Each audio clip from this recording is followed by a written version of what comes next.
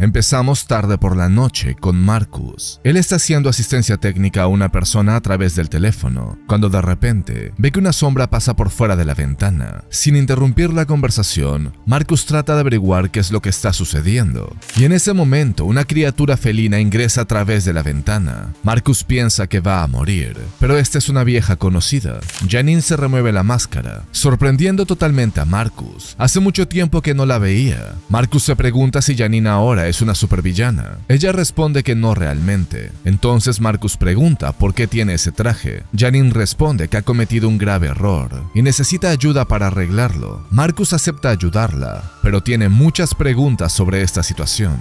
Paralelamente en los cuarteles de Beyond, Maxine y su asistente están observando los resultados del laboratorio del pelo que recogieron en la escena del ataque. Su asistente piensa que es bastante extraño lo que han descubierto. No encontraron rastro del virus que causa la licantropía, pero TJ tiene buenas noticias para Maxine. Después de analizar el ADN, parece ser que tienen registrada la persona de la que proviene. Maxine le pide que no pierda más tiempo y que le muestre de una vez. Regresando a la casa de Marcus, Janine ha terminado de contarle la historia y ahora él sabe de dónde sacó estas máscaras, pero Marcus todavía no sabe cómo funcionan realmente. Janine tampoco lo sabe. Ella pensaba que estas máscaras estaban hechas para ella. No creía que podría transformar a personas en hombres lobo. Janine le pregunta a Marcus si puede conseguirle la información del guardia de seguridad. Según Marcus puede hacerlo, pero él tiene otra pregunta. Si es que Janine obtuvo estas máscaras del proyecto Purgatorio, de ser así técnicamente son propiedad de Beyond. Janine responde que por el momento no se va a preocupar por Beyond. Por ahora ella debe ir de incógnito, así que usa su máscara de policía. Janine está muy preocupada por este guardia de seguridad. Lo más probable es que esté asustado y confundido. Janine se pregunta a dónde iría si estuviera en la misma posición. Mientras tanto, el guardia ha estado vagando durante toda la noche y ahora que el sol sale en el horizonte, regresa a la normalidad. Volviendo a Beyond, Ahora Maxine sabe que estos cabellos le pertenecen a Janine. Hace mucho tiempo que no la veía, pero sabe que hay muchas maneras de manipularla.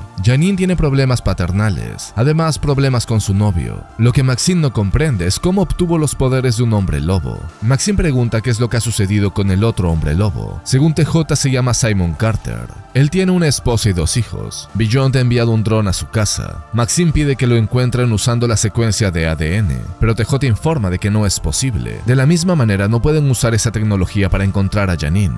Maxine se pone a pensar y comprende por qué la tecnología no funciona. Ella pide que vuelvan a intentar encontrarlos a través del ADN. Según TJ, lo que tienen ahora es una muestra viva, lo que quiere decir que está conectada al individuo. En estos momentos el sol ha salido, es decir, el hombre lobo debe haberse convertido en humano. Luego de hacer la prueba, los científicos lo confirman. El ADN se ha transformado en ADN humano y ahora pueden obtener una localización. Maxine ordena un equipo de extracción y les pide que no maten al objetivo y que solo usen sedantes. Mientras tanto, Janine está viajando en un autobús. Le han dado un viaje gratis por ser una policía, pero ella se percata de que los pasajeros la miran extraño. Inicialmente piensa que la han reconocido, pero pronto se da cuenta de que no es eso. Le tienen miedo porque es una policía. Al mismo tiempo, la detective Sevens está llegando a la casa del guardia y en la entrada se encuentra con Janine. La detective no la reconoce. Además, no le habían informado que enviarían a una oficial. Janine responde que se llama el oficial Riley y vino a investigar este caso por su cuenta. La detective Sevens no parece creerle, pero pronto son interrumpidas. Una mujer sale de la casa y les pide que pasen. Ella sabe que han venido aquí a hablar sobre Simon. Una vez adentro, la mujer les pide que le den la mala noticia. Ella cree que la policía ha venido a informarle que Simon está muerto. Janine la calma y le dice que no es así, es solo que no pueden encontrarlo. La detective Sevens pregunta si es que Simon tiene algún lugar especial, pero según la mujer, Simon siempre decía que este era su lugar especial, junto a ella y sus hijos. Detective Sevens pide permiso para explorar la casa, tal vez puedan encontrar pistas. La esposa de Simon los lleva hacia su taller, y en el camino les comenta que sus hijos están con su hermana. Una vez en el taller, la detective y Janine intentan buscar pistas, y luego de ver las fotos de Simon con su familia, Janine empieza a sentirse bastante mal.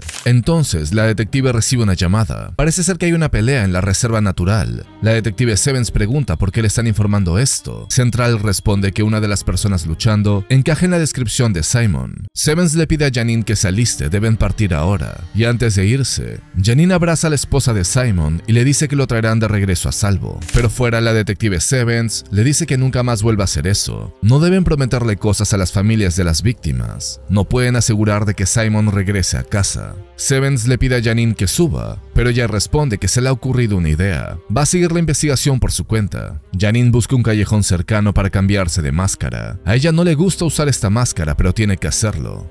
Janine se pone la máscara del vampiro. La razón por la cual evita esta máscara es porque le da mucha hambre, pero por lo menos le permite volar. Y entre más rápido encuentra a Simon, más rápido va a poder sacarse esta máscara. Al mismo tiempo, Simon está luchando con cuatro personas. Parece ser que quieren secuestrarlo, pero Simon intenta defenderse. No obstante, le llegan a inyectar un sedante.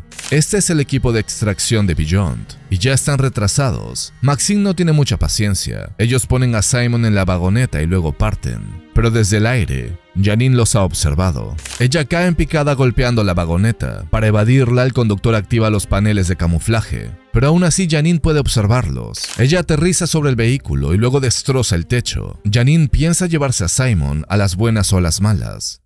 Muy bien muchachos, de esta manera culminamos con este capítulo de Hallows Eve. Hay algo que no me gusta de este cómic y es que hace ver a Janine como una víctima y no lo es. A pesar de que ella es la culpable de todo lo que sucede. Recordemos que ella estaba tratando de robar un banco, así que es una villana. No sé si estoy tan a favor con que el cómic trate de mostrar el asunto como gris cuando no lo es. Janine robó un banco y en el proceso convirtió a una persona en hombre lobo. Pero ya veremos cómo avanza esta historia en ese aspecto. Imagino, quiero creer que más adelante Janine acepta que lo que hizo está mal, tal vez, quién sabe, no lo sé. Un pequeño detalle de este cómic que me pareció algo interesante es el comentario social que hace la escritora a la hora de que Janine se sube al autobús. Obviamente las personas que le tienen miedo a la policía blanca son personas afroamericanas. No entiendo la necesidad de meter ese tipo de comentarios dentro del cómic. Gastadera de páginas, gastadera de tinta, no avanza la historia en ningún sentido, porque Janine no es una policía. Entonces, simplemente el escritor decidió poner eso para criticar a la policía de los Estados Unidos, sin ninguna conexión con la historia que está contando ahora. Y ese es el problema que tengo con ese tipo de introducciones. Si estás haciendo una historia o un cómic que tenga que ver con ese tipo de cosas, no habría problema, porque estás tocando esos temas. Pero si me estás contando la historia de una mujer que se vuelve una gata furra, ¿a qué viene el caso hablar de esos temas? Es estúpido, es gastadera de página. Por enviar tu mensaje político me has gastado una página que podrías haberlo llenado con más acción, más exploración de personaje, no lo sé. Pero odio cuando los escritores desperdician páginas solo para ganar puntos en Twitter.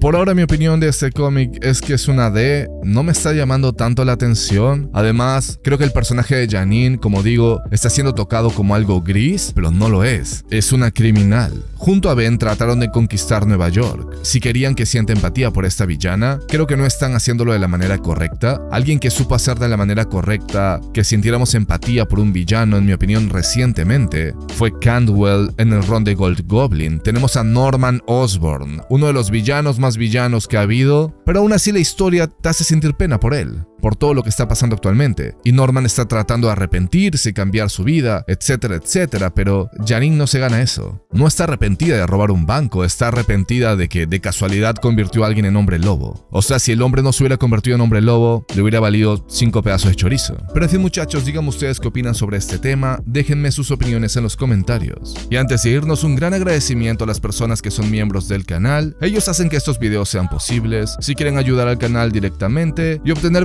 beneficios especiales durante los streams en Geekspedia, el link está en la descripción. Habiendo dicho eso, nos vemos en un próximo video.